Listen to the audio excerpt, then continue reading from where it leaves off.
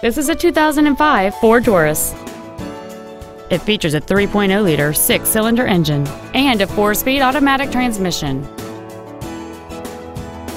All of the following features are included.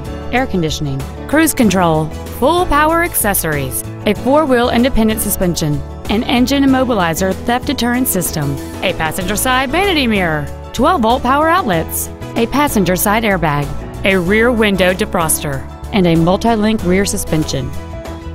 Stop by today and test drive this vehicle for yourself.